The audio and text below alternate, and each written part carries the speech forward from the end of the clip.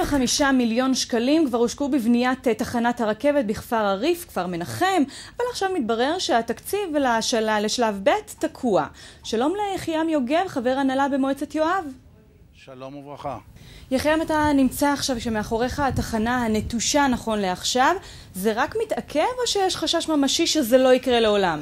אחרי עשר שנים שהמועצה השקיעה פה גם כספים והשקיעה פה גם uh, הרבה מחשבה לטובת הפריפריה, ואנחנו עכשיו, יש לנו מין תחושה שננטשנו, לא רק התחנה ננטשה.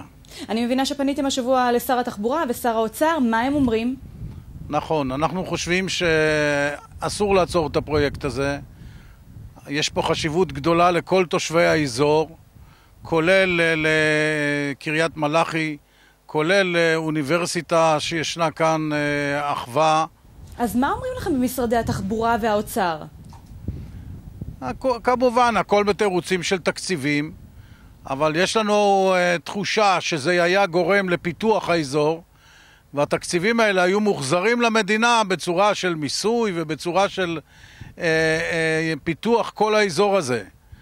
וברגע שזה ננטש, אז יש מין הרגשה מאוד uh, עצובה שמדינת ישראל נוטשת את הפריפריה ולא מפתחת אותה. כמו שאתה אמרת, הרבה מהתושבים באזור, בעיקר בהרחבות ביישובים, בנו על התחנת הרכבת הזו. מה אתם אומרים להם היום? מצטערים? באוצר אמרו שאין תקציב? המועצה שלנו עשתה רבות למען התחנה הזאת, כולל הקצאת כספים שההנהלה החליטה עליה. המועצה בראשותה של מתי ארכבי החליטה להשקיע כספים על חשבונה. בתכנון הסטטוטורי של המקום הזה, בתכנון שביל אופניים מאחווה עד, עד לתחנה. כל זה יורד לטמיון עכשיו, וכספים של התושבים, כספים רבים של מאות אלפים שהושקעו בתכנון כל הדרך אל התחנה, הולכים לרדת לטמיון. כן, יש באמת אה, הרבה מאוד אה, נפגעים, לא רק במועצה שלכם, יש גם אה, יישובים בסביבה וערים נוספות. אתם מתכוונים אולי להתאגד ולנהל מאבק משותף? בוודאי, בוודאי, אנחנו לא נרים ידיים, אנחנו ניאבק בהחלטה הזאת. זו החלטה לא נכונה.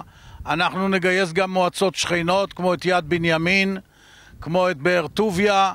כל המועצות באזוריות יתאגדו וננהל מאבק, כי זה מאבק לא רק של מועצת יואב, למרות שמועצת יואב מובילה את המאבק הזה. יחיעם יוגב, חבר הנהלה במועצת יואב, תודה רבה לך. אנחנו נמשיך כמובן להתעדכן בנושא. תודה רבה לכם.